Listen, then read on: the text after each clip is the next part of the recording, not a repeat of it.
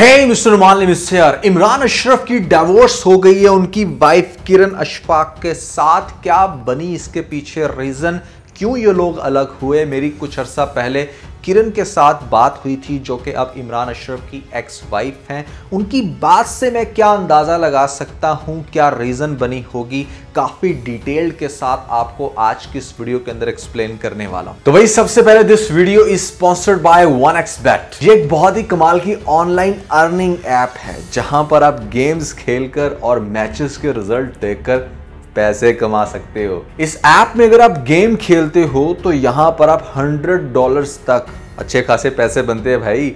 Hundred dollar तक का bonus जो है यहाँ से विदड्रॉ कर सकते हो। ऑनलाइन गेम्स के साथ साथ यहाँ पर ई स्पोर्ट्स के सेक्शन में आपके पास और बहुत बड़े बड़े इनाम इंतज़ार कर रहे हैं भाई। इस ऐप में पहले डिपॉजिट पे आपको मिलेगा हंड्रेड डॉलर का इनाम, जिसको आप बहुत आराम से निकलवा सकते हैं मेरे भाई। और इसी वीडियो के डिस्क्रिप्शन में और यहाँ पर पिन कॉमेंट में आपको लिंक के साथ साथ मेरा प्रोमो कोड मिल जाएगा, जिसको आप डेफिनेटली इस्तेमाल कर सकते हो। और यहाँ पर आपको अच्छा खासा फ़ायदा होने वाला है। तो भैया वन एक्सपेक्ट को ज़रूर ट्राई कीजिएगा। इसके अंदर बहुत ही कमाल की चीज़ शोबिस की दुनिया में जब किसी सेलिब्रिटी की डाइवोर्स होती है तो यहाँ पर फैंस बहुत ज़्यादा अपसेट हो जाते हैं, क्योंकि वो ये समझते हैं कि शायद जैसे ड्रामाज या मूवीज़ में हमें ये बड़े सक्सेसफुल कपल नज़र आते हैं रियल लाइफ में भी शायद वैसे ही होते हों। आपको याद होगा कि यहाँ पर आहद ने सज्जल के साथ डाइवोर्स ले ली, फरहान और उर्वा की सेपरेशन और ऐसे में भी रिसेंटली आपको सुनने में मिला कि फिरोज खान ने भी अपनी वाइफ लीजा से अलहदगी अपना ली। तो भैया क्यों होता है ऐसा और क्या वजह होगी यहाँ पर इमरान और किरण के केस में? आज के इस वीडियो में आप लोगों को बताने वाला हूँ। फिर जो नहीं लोग आए मेरे चैनल पर, जल्दी से दबा दें सब्सक्राइब का बटन प्राउस जिसे कहते हैं इंस्टाग्राम फॉलो या एट मालूम क्योंकि आपके सभी क्वेश्चन के आंसर मैं वहाँ पर करने वाला हूँ। वीडियो का जैसे लगता है हम स्टार्ट कर सकते हैं। बड़ी सुपर पर रिव्यू तो चले आगे बढ़ते हैं।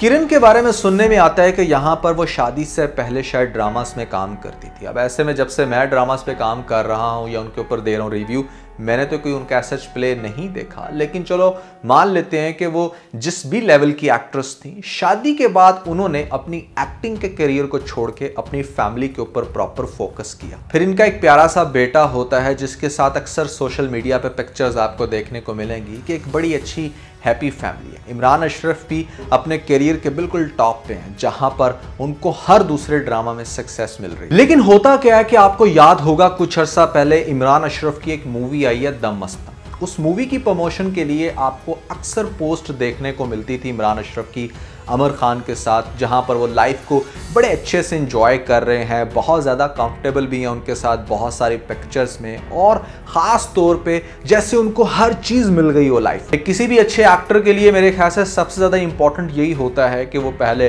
ड्रामास में काम करे, फिर इवेंचुअली मूवीज़ में आना शुरू हो जाए, उसको पॉपुलैरिटी मिल रही है फेम मिल रहा है, पैसा मिल रहा है। What else does a man need in life यार? फिर हाल ही में इमरान अशरफ ने जैसे अपना वेट लूज किया तो मतलब इर्द गिर्द लोगों की होगी भरमा मार एप्रिसिएशन दिन, रात और क्या चाहिए? लेकिन दूसरी तरफ़ जो मैंने चीज़ नोटिस करी, वो ये कि किरण की पोस्ट से कुछ ऐसा लग रहा था कि जैसे she is not happy with her life जैसे उसने सबसे पहले अपने इंस्टाग्राम से नाम रिमूव कर दिया इमरान का। वहाँ पर मुझे धचका लगा। बहुत सारे दूसरे लोगों ने भी नोटिस की कि भाई, आखिर ऐसा क्या हो गया? क्यों इसने नाम हटा दिया? जब मैंने किरण को अप्रोच किया, हमारी ऑन एंड ऑफ़ पहले भी बात होती रहती थी, लेकिन मैंने जब हाल ही में पूछा उससे कि भाई आई यू गाइज़ सेपरेटेड तो उसने एक बड़ा इंटरेस्टिंग सा आगे से मुझे जवाब दिया। उसने कहा कि हम साथ हैं भी और साथ नहीं भी अब अगर आप किरण की इस बात के ऊपर थोड़ा सा गौर करो तो यहाँ पर बहुत अच्छे से इस चीज़ की अंडरस्टैंडिंग हो सकती है कि उसके साथ तो है इमरान अशरफ, उसका एज अ हस्बैंड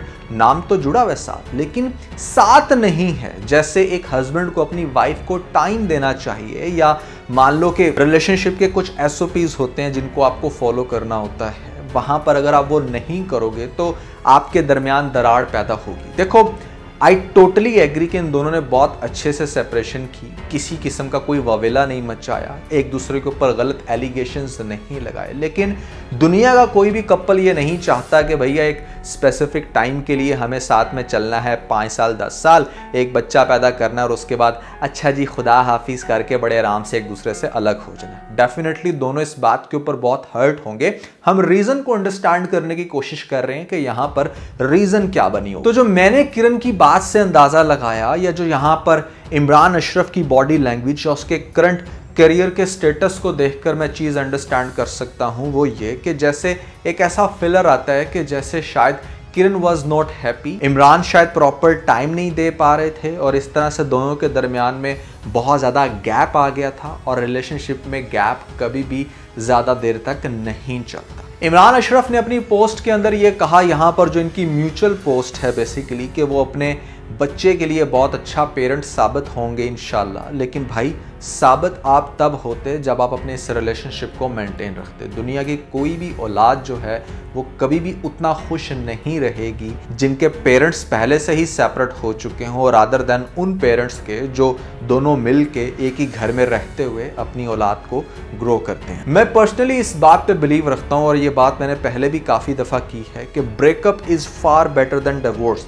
आप किसी इंसान के साथ अपना रिलेशनशिप बिल्ड करते हो आप पाँच छः सात महीने उसके साथ चलते हो, अगर आपको समझ नहीं आती तो आप ब्रेकअप कर लेते हो विच इज़ ऑल्सो लाइक कि आप बड़ा हर्ट हो जाते हो but still it's way better than कि आप किसी के साथ डायरेक्टली शादी कर लो और फिर तीन, चार, पाँच या छः साल के बाद आप लोग अलग हो रहे होते हो। क्योंकि सम हाउ आप मानो या ना मानो डिवोर्स जो है वो हमारी सोसाइटी में एक धब्बा समझा जाता है। और इस दाग को साफ़ करते करते फिर आपकी सारी ज़िंदगी गुजर जाती है, लेकिन ये साफ़ नहीं होता। इसके असरात कहीं ना कहीं आपको आपकी सेकेंड मैरिज के अंदर देखने को भी मिलते हैं। ख़ासतौर पर सेलिब्रिटीज़ को मैं ये बात ज़रूर सजेस्ट करना चाहूँगा कि भाई देखो अगर आप लोग एक शादी के बंधन में जुड़ रहे हो ना तो पहले इस चीज़ को अंडरस्टैंड करो कि आपका प्रोफेशन क्या है। ये बात वाइफ्स को भी समझनी चाहिए कि मेरे हस्बैंड का प्रोफेशन ऐसा है।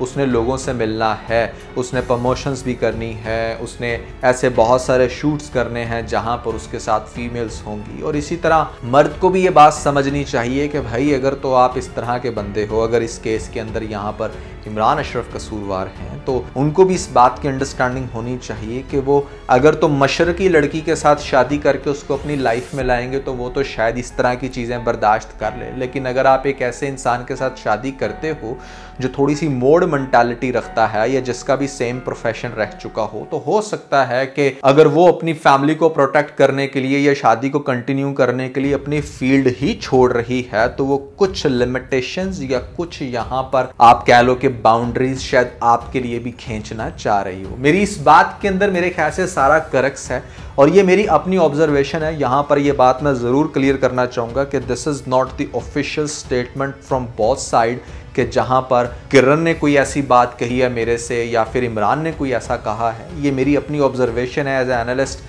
मैं क्या समझता हूँ, मैंने क्या फील किया सिचुएशन से, मैंने आप लोगों को बता दी लास्ट में एक बड़ी प्रो टिप देना चाहूँगा आप सभी लोगों को, जो कि समझते हैं कि ऐसे में रिलेशनशिप जो है वो शायद बहुत बुरी चीज़ होती है स्पेशली शादी से पहले। देखो, शादी से पहले इस्लामिक पॉइंट ऑफ़ व्यू से देखा जाए तो 100 परसेंट रॉन्ग है।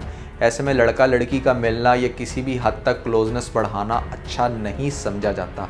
लेकिन फिर आप थोड़ा सा अपनी लाइफ पे गौर करके ये भी देखो कि क्या आप इस्लामिक लॉस के अकॉर्डिंगली ज़िंदगी गुजार रहे हो? अगर तो लड़की ने अपने आप को चार पर्दों में बंद रखा हुआ है, लड़का भी बिल्कुल इस्लामिक वे में लाइफ स्पेंड कर रहा है, फिर तो समझ में आता है कि भाई डायरेक्टली अगर आप पढ़े लिखे हो तो बस अपने पेरेंट्स की मर्ज़ी से शादी कर लो। 99 परसेंट आपकी डेफिनेटली बनेगी। लेकिन अगर आप ये देख रहे हो कि लड़की मतलब बहुत ही मोड है, ऐसे में बिल्कुल वेस्टर्न कल्चर को फॉलो करती है, आप भी किसी से कम नहीं हो, सारे डिस्को वाले काम कर रहे हो, आपकी लाइफ बड़ी एडवांस है, आप वो बिल्कुल भी अपनी लाइफ में कोई ऐसा सीन नहीं रखते कि जहाँ पर ये फिलर आए कि भाई आपने 100 परसेंट इस्लामिक रूल्स को फॉलो कर रखा है। तो फिर मान लो कि ऐसे में दोनों जगह पर बहुत ज़्यादा सेंसिटिविटी होगी, आपको बहुत सारी चीज़ों के ऊपर कॉम्प्रोमाइज़ करना पड़ेगा। और अगर आपको ये लगता है कि आप लड़के हो के कुछ एक्स्ट्रा ऑर्डनरी कर रहे हो और आपकी वाइफ को कोई फ़र्क नहीं पड़ेगा, या अगर आपकी वाइफ को लगता है कि मैं कुछ एक्स्ट्रा करूँगी, मेरे हस्बैंड को कोई फ़र्क नहीं पड़ेगा तो ऐसा नहीं होने वाला। दो तरह के कपल होते हैं भाई इस्लामिक कपल या फिर ऐसे में मॉडर्न कपल ये जो दरमियान वाली कंडीशन होती है तो वैसी बड़ी ख़राब होती है। या तो बिल्कुल इस्लाम के रूल्स के अकॉर्डिंग ज़िंदगी गुजारो। शादी से पहले भी, शादी के बाद भी तो आपको एक सिमिट्री नज़र आएगी सिमिलैरिटी नज़र आएगी अपनी लाइफ में। या फिर आपको चाहिए कि मतलब आप सब कुछ छोड़ छाड़ के बस सिर्फ़ अपने माइंड को इतना ब्रॉड कर लो कि आपको ये छोटी छोटी चीज़ों से फ़र्क ना पड़े। तो दोस्तों, मैंने यहाँ पर the legend of Maula Jatt movie के ऊपर काफ़ी डिटेल्ड रिव्यू बनाया अगर आप लोगों की नज़रों से नहीं गुजरा तो ऊपर लिंक मिल जाएगा। जल्दी से लिंक पे क्लिक करके वीडियो देख के अपना फीडबैक मुझे ज़रूर दीजिएगा। तो आज के बस इतना अगर आपको इस वीडियो के अंदर कोई एक पॉइंट होता है इस वीडियो को लाइक ज़रूर कीजिएगा और अपने दोस्तों के साथ ज़्यादा से ज़्यादा वीडियो को शेयर करने की कोशिश करें स्पेशली उन दोस्तों के साथ जो पाकिस्तानी ड्रामास के बहुत बड़े फ़ैन है। वीडियो चलेगी तो सब्सक्राइब बटन के ऊपर ज़रूर क्लिक कीजिएगा और कॉमेंट सेक्शन में मुझे अपना फीडबैक देना मत भूलेगा और ये सारे काम करने के बाद आप बेल प्रेस कर लीजिएगा ताकि लेटेस्ट अपडेट आप लोगों को सबसे पहले मिल सकें। इसके साथ बहुत सारा ख्याल रखें स्टे मोटिवेटेड एंड गॉड